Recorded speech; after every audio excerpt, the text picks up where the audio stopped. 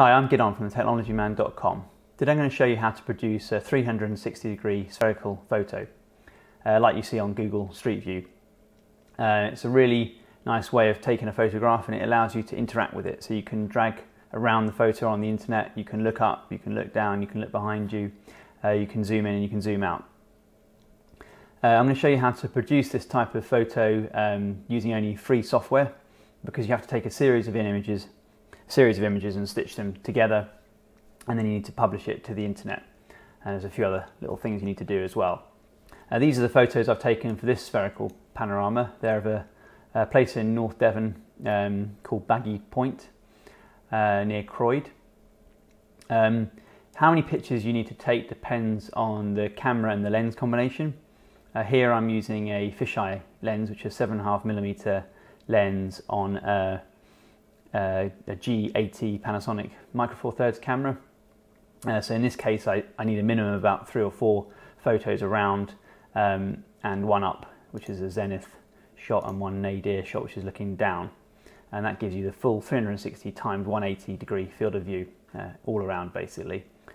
I've taken slightly more than I need here. Um, I'm doing all these handheld. Ideally you'd use a tripod, but the software is pretty good nowadays, so you can do it handheld. How I've done these shots is I actually I actually um, attached a bit of string with a weight on the bottom of it to the front of the lens around the point which we want to rotate. Uh, and then this plumb line, uh, you look at where it, uh, where it touches the ground and rotate around that point. Uh, the best point to rotate around is called the entrance pupil of the lens, or sometimes called uh, the nodal point, uh, which is incorrect, but it's actually the entrance pupil. And if you rotate exactly around that point, then you'll get no stitching errors um, you get stitching errors because of something called parallax.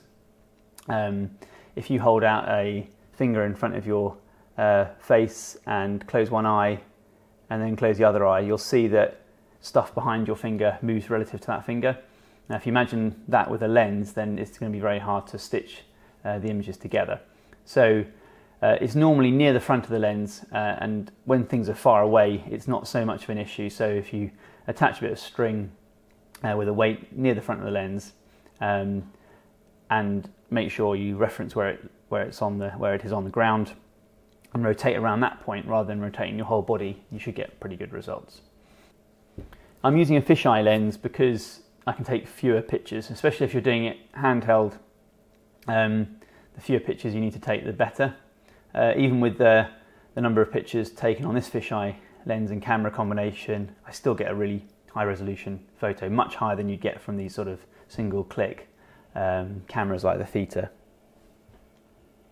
One thing when you're taking a 360 panorama is you have to decide on your exposure and you have to fix the exposure. So you have to choose what exposure you're going to use for the whole panorama. Uh, there's various ways of doing this. The most accurate way would be to take a reading off the, the shadows, take a reading off the highlights, and then choose somewhere in the middle. Um, if you're in a rush, which is what I was here because I had the whole family with me, uh, I just chose the, the view that I was probably most interested in. Took a meter reading, say here. So this is a, a meter reading from the camera. Looked at the settings, say it was uh, f3.5 um, and shutter speed of I don't know one over 500.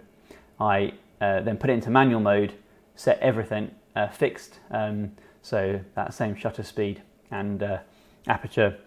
Also make sure the ISO um, and also the white balance is set, in this case the daylight, everything's set manual, so nothing changes. The reason you want to do that is because when you try and stitch all these images together, if the exposures are different, it'll be very hard to blend them correctly. So it's important to set your camera to manual and uh, choose an average uh, exposure for the whole panorama. So here these images are overlapping by probably uh, more than the minimum of 25%, uh, almost 50% in a lot of cases. And then I've taken one up, which is called the zenith shot, and one down, which is called the nadir shot. And this allows you to actually look down at your feet uh, and all around you, look up in the air, and, and uh, you'll see nothing, you'll see no um, signs of how the picture was taken, which is quite nice. I'll show you how to do that. Okay, so we're going to use free software. Uh, the software is called uh, Hugin, and that we're going to stitch all these images together. So if we start up that application, select all the images and drag it into the software. Because this is a manual lens, it's a Samyang 7.5mm fisheye lens um, on a Panasonic G80, I have to actually put in the focal length. If it was a normal uh, autofocus lens which communicated with the camera, it would pass all that across, but in this case it doesn't. So you just have to put these details in manually in, in this case. It's a full frame fisheye, 7.5 millimeter. The crop factor of this camera, the G80, Panasonic G80 is 2. So that's giving you the effective focal length of 50 millimeter on a full frame camera. So we click OK to that. Don't worry about that message. And what it does now is it just lines all the pictures up roughly. It's not done anything clever here. Um, the next thing we need to do is click on align. And it, here it has to do the, the clever stuff where it basically analyzes all the images and it uh, creates what stitching software calls control points, uh, which are um, locations on the image that share across different images, often multiple images. The more control points and the more accurate it can find these control points, the better the, the stitch will be. So this is one area where the, the free software takes a little bit longer um, than the paid software, but it still does a decent job. So you can see now it's uh, it's not really missing. It's just showing you a very rough stitch of it all together, not showing you the proper blending or anything else. Um, you can also look at the top here, and it says the images are connected by 179 control points. Mean error is 9.3 pixels. As you do a few of these, you get to know what is a good error. For handheld, that's not too bad. You can see my shadow and my foot uh, sort of showing up there. Um, but generally, if you're sort of looking in between the pictures, they actually align fairly well considering this was handheld. Now the next steps I'm going to show you, you don't absolutely need to do, um, but I want to get rid of the shadow and my foot. But because we've got enough overlapping pictures, we can roughly do this and then we might have to fill in the, um, the gaps that are created um, uh, with some sort of uh, Photoshop type software. I think I'm going, to, I'm going to use GIMP in this case. Okay, so if we click the in interface and change it to advanced, we can see we've got uh, all the images listed here. Um, and the thing we want to take a look at is masks. So if we choose, uh, for example, this image, maximize the screen, we add a new mask. We want to say that I don't want this included in the picture. So click around the image, double click to finish, and make sure that in this case says exclude region. So we don't want that bit in the picture. Right, see if there's anything else we don't want included. So we also don't want uh, the shadow here. Now I'm going to do this roughly in this case. You could obviously zoom in and take a lot more care.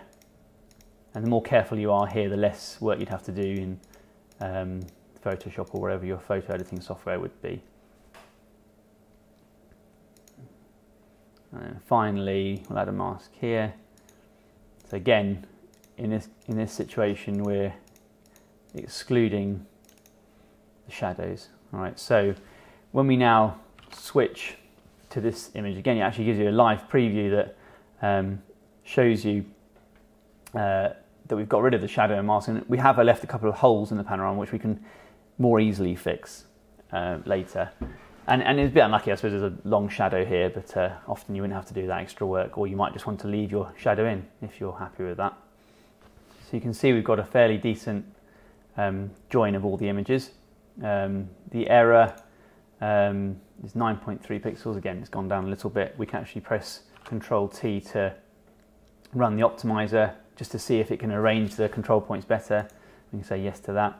If we go to the Move Drag tab at the top there, uh, again, I'm still in the expert mode here, and click on straighten. You see, it actually does a pretty good job of straightening the horizon, which is good enough for this case. As I say, in this tutorial, I'm not concentrating on getting this absolutely perfect, um, I'm just showing you that you can get some really good results with free software. So that's really all that we need to do in, in Hugin. We can go back to the assistant here um, and we'll choose create panorama. Um, we'll actually leave it as a TIFF file, which is an uncompressed file, um, and we'll click OK. It says it has to be saved, and call it baggy point.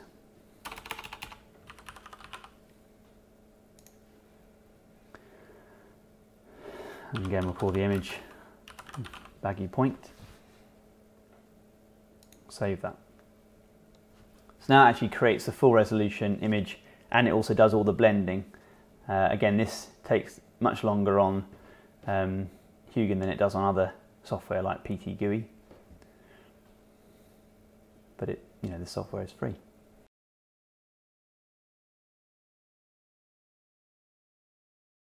So what we're going to, what we're going to do next um, is try and fill in those holes.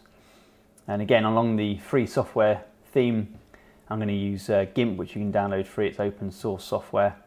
Um, and we're going to use the clone tool to to clone away those little holes, which is, is quite quite easy.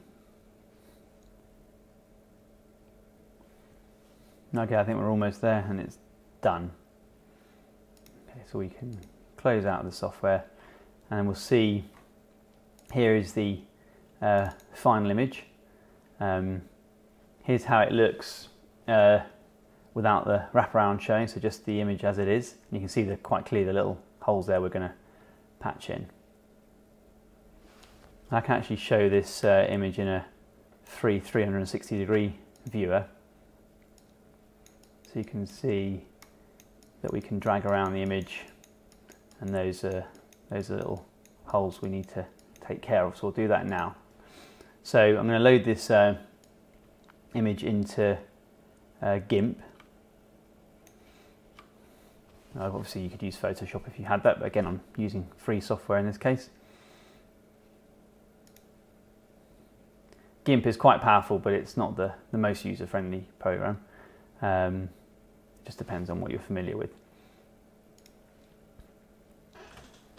Okay, so we can see um, the holes we've got here, which we need to take care of. The easiest way of doing this is to tap the C key for clone. Um, set your brush size by pressing the right bracket key. You want to sort of get a fairly big brush size here. Um, and we can also just look over here and see how we want slightly soft edges in this case. Control click somewhere where you want to clone from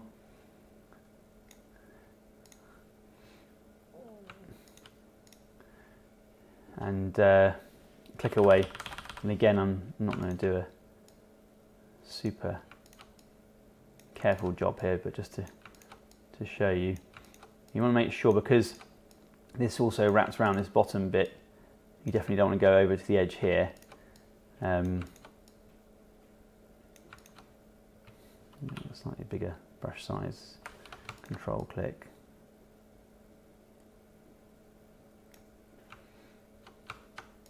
Right, so even with a even with a rough, very quickly done job, uh, if you didn't know this um, was done, it'd be hard to to see. Uh, right, so we export it. Um, I'm going to export it in this case as a JPEG file because this is our final image, which we're going to um, be able to publish to the, the internet. I think I'll up this to 95%.